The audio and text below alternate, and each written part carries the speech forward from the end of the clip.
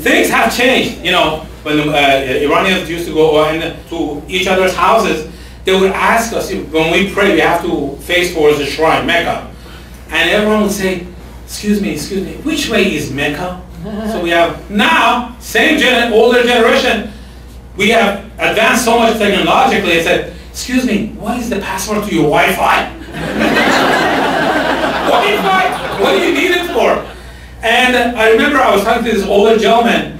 I said, how's everything? He goes, ah, things were much better in the older times. It's like, what do you mean? He goes, I used to go out with five dollars.